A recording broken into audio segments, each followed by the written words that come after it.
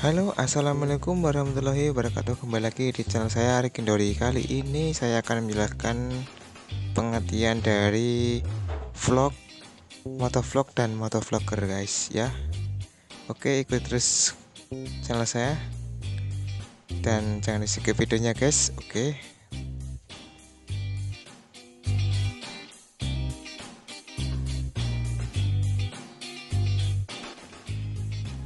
Oke kali ini saya sedang mengantarkan pesanan ya guys. Seperti biasa di sore hari saya menyambi mengantarkan pesanan guys. Oke.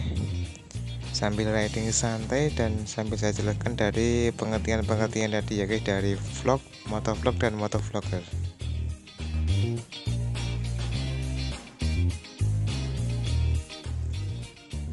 Oke cuacanya sangat cerah sekali untuk saya mengantarkan pesanan ya guys. Jadi gak terburu-buru ini guys. Dan ini masih sore hari guys. Oke kita langsung jelaskan saja ya pengertian vlog, motovlog dan motovlog guys. Kita mulai dari vlog ya guys. Vlog yaitu bentuk kegiatan membuat vlog dengan media vlog di atas teks dan suara ya guys. Jadi intinya vlog itu adalah kegiatan merekam dengan kamera atau benda-benda yang sekiranya bisa merekam ya guys. Oke.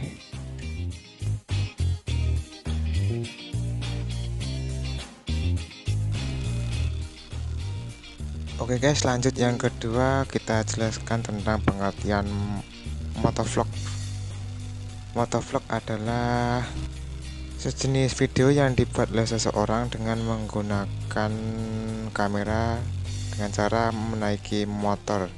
Dari namanya itu sudah motovlog guys ya. Jadi menggunakan motor dan vlog merekam dengan video. Jadi merekam keadaan atau suasana dengan cara naik motor ya guys.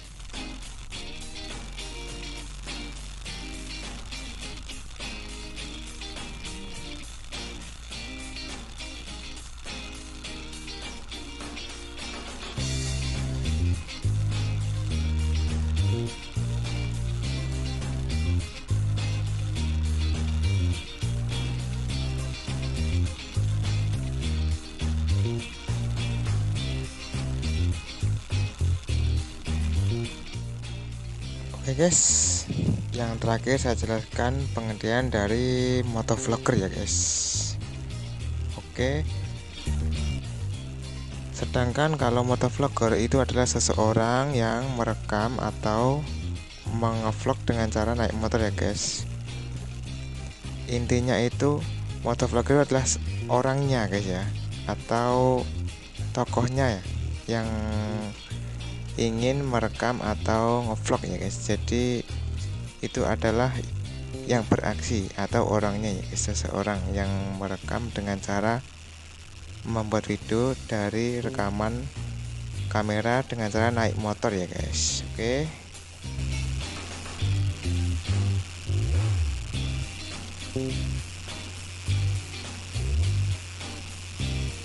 okay.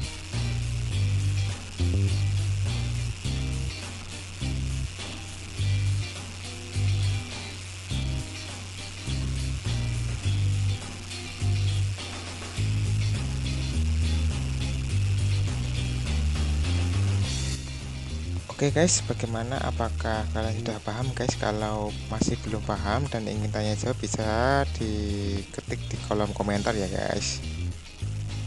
Semisalnya kalau kurang paham atau masih bingung dalam pengertiannya bisa diketik di kolom komentar. Oke.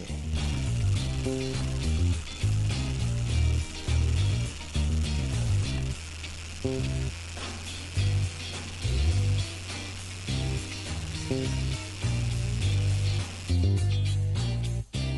Oke guys, intinya jadi kalau ingin menjadi seorang motovlogger jadi harus tahu pengertian-pengertian tersebut ya guys. Itu adalah awal atau dasar kalian menjadi seorang motovlogger. Oke.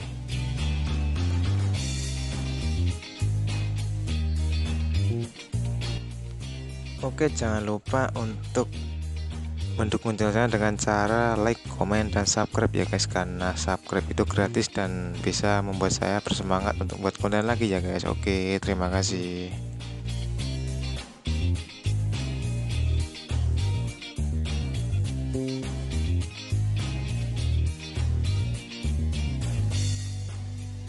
Ya guys, ngomong-ngomong kali ini saya hampir sampai mengantarkan pesanan saya ke pelanggan saya guys Ini sudah hampir maghrib Dan sudah petang guys. Jadi harus saya buru-buru untuk mengantarkan ke pelanggan saya ya guys Biar gak kelamaan nunggunya guys.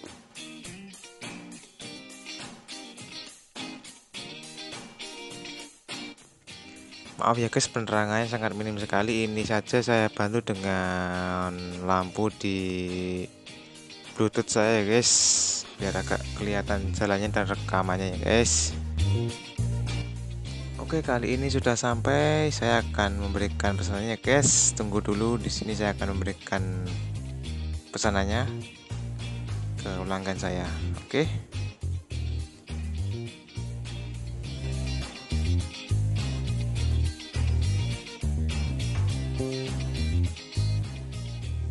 Oke Bu udah sampai ini pesanannya.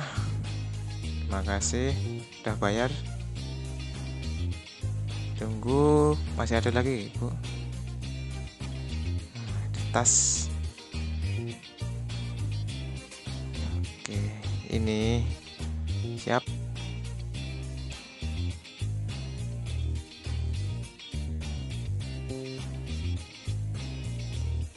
Oke, makasih. Saya foto dulu ya, Bu, buat tanda sudah terkirim. Oke, makasih. Saya udah pulang dulu. Karena udah larut ya, guys, sudah petang. Jadi saya harus buru-buru pulang ya, guys. Oke, mungkin itu saja penjelasan dari saya ya, guys, tadi vlog, motovlog dan motovlogger ya guys. Oke, sekian dulu video dari saya. Saya ucapkan terima kasih. Sekian, wassalamualaikum warahmatullahi wabarakatuh.